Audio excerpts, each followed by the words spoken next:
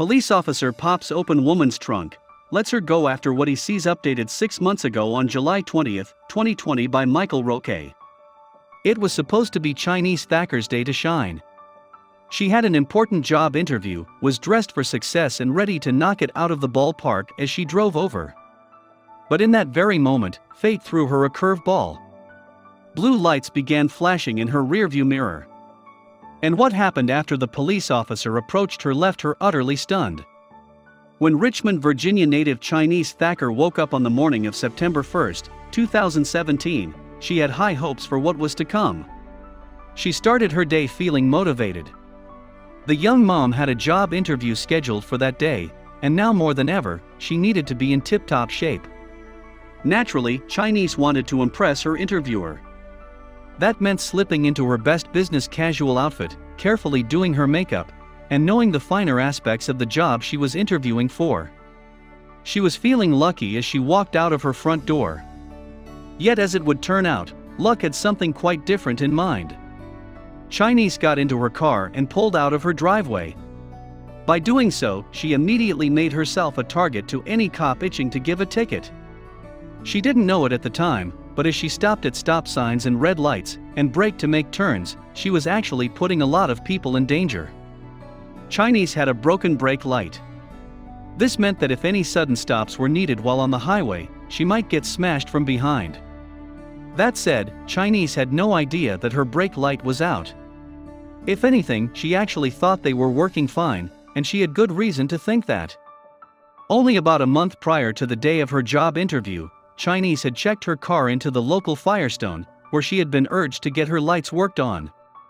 They then tried to charge her a startling $600 for a wiring test.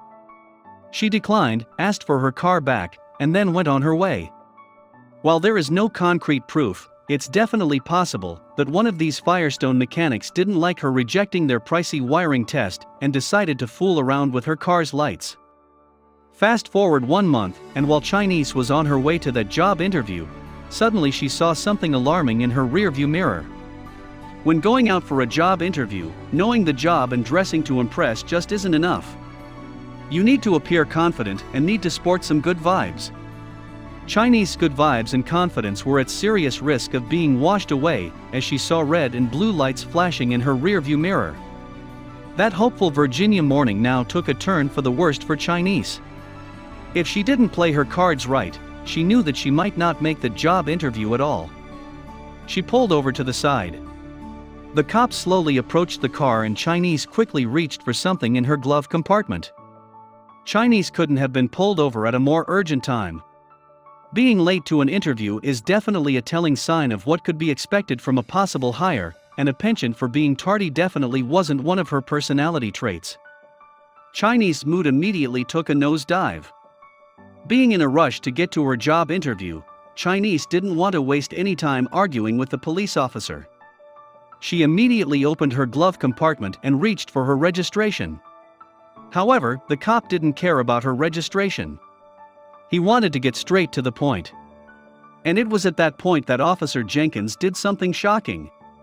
Nine times out of ten, if you have a broken brake light, no sob story is going to phase a cop, He'll see the damage as your responsibility, collect your license and registration, and write you a huge ticket. At the very least, he might write you out a fix-it ticket and be on his merry way. One could only assume that this police officer's behavior would be no different. He immediately told Chy-Niece to put her license and registration away, and informed her that she had been driving with two broken headlights. The information bomb that he dropped on her was a shock to her system, what he'd do then was utterly unexpected. Chy-Niece began telling the police officer her story about being overcharged by Firestone and recently getting the lights fixed. Officer Jenkins raised an eyebrow and asked her to pop the trunk of her vehicle. We can only imagine the panic that she felt when he asked that question. She didn't want to end up on the news and had nothing to hide, so she stayed calm and opened up the trunk for the police officer.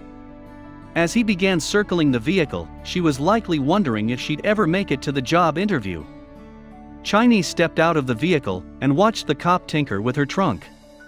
What he was doing back there was definitely not something out of a police officer's job manual. Out of nowhere, the police officer went into full on mechanic mode and began tinkering with her brake lights. He gave them a good look over, and even tapped them a few times. Unfortunately, the lights did not turn on. Either her car was too old and decrepit, or the mechanics at Firestone had ripped her off. The officer lifted himself out of the trunk and then asked Chy-Niece to pop the hood. He then proceeded to check the relay box. Chy-Niece all the while looked on in disbelief. She recalled during an interview with Fox, he could have easily given me a ticket, but Officer Jenkins stepped out of the officer role and into the mechanic role to make sure I was straight. Despite the officer's good deed, would she make it to the interview? In terms of the broken brake lights, nothing much beyond the officer's touching response has been reported on.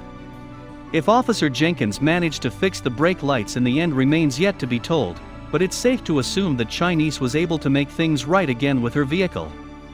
As for the job interview, she more than likely aced it. In 2017, Chy-Niece began working at the University of Phoenix as a correctional program support person. While things might have looked dim earlier that morning, it was thanks to a cop with a different than usual approach that her day picked up.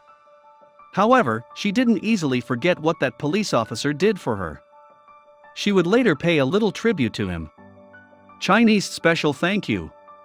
Officer Jenkins' good deed stuck with Chy-Niece throughout the whole day, and when she got home, she had to let the world know how she felt. Naturally, she took her gratitude to social media and left a very touching post. It surely isn't every day that a cop goes the extra mile for someone quite like that, so with suspense in mind, Chy-Niece told her whole story. She built it up slowly, making many people suspect that when those blue and red lights began flashing, she was in big trouble. However, when everyone finished reading her post, they knew what a good man Officer Jenkins was. Many people responded, but one post in particular really turned heads. Chy-Niece's grateful post instantly skyrocketed in terms of shares and comments. People were completely taken by the police officer's compassionate approach. With that said, there was one comment that Chy-Niece was really touched by. Amidst the deluge of comments, the Henrico County Police Department decided to chime in and thank Chy-Niece. The police station responded on Facebook by saying, Thank you Chy-Niece Thacker for sharing this about one of our officers. We are so proud of our officers, especially when we see citizens share things like this. Above and beyond the call of duty, Officer Jenkins. Service to our community is what it's all about. This back and forth would end up taking their mild story to the next level. These days, headlines featuring police officers generally have a far darker story behind them. But this act of kindness made Officer Jenkins stand out like a diamond in the rough. The internet ran with the story and it soon became a viral sensation. Even big news networks like Fox and NBC featured this simple tale of generosity. One person commented on the story saying, Yes, there are some good ones out here. I got pulled over a couple weeks ago for my tail lights being out, and he helped me figure it out. It turned out that it had a fuse blown, he told me to drive the rest of the way home with my hazard lights on. Nonetheless, the context was not lost on some. The example of Officer Jenkins being a good Samaritan and thinking outside the box is just one story exemplifying the fact that there are actually a ton of amazing policemen and women out there. They aren't exactly itching to give you tickets or throw you behind bars, but instead to serve and protect their community. One comment on Chy-Niece Post said the following Actually, he gives all officers a good name. We have him, but there are thousands more like him. The bad ones with attitudes overshadow the truly professional officers like him. I do think Henrico has the best officers though. Officer Jenkins' compassion actually shined a light on possibilities people never fully considered. Many people saw a look at how good the world could be if people just changed their approach towards one another. One comment summed it up neatly when it said, I love a good cop cause I remember how nice it was to see them in the neighborhood and the feeling of being safe and you could talk to them. If all the good cops would oust all the bad cops, then police would again have our respect and admiration. Another comment expressed something similar when it said, Good job, Officer Jenkins. You are a great representative for the law enforcement community, and the Lord is pleased with your righteous act of service. God bless you, sir, and may God protect you and your family. Given a few years have passed since the interaction, many wonder where Chy-Niece is today. Years after this touching incident, Chy-Niece life has taken a huge upturn. She no longer has the job that she interviewed for all those years ago, but is doing something more aligned with her dreams. She is currently working as a youth counselor at UMFS, a company that provides youths and families with the tools to overcome some heartbreaking challenges. As for Officer Jenkins, he is still doing his job of protecting and serving the good citizens of Henrico County, Virginia. And as for the future, the people can only hope that this officer's compassion and kindness is infectious to other officers on the police force.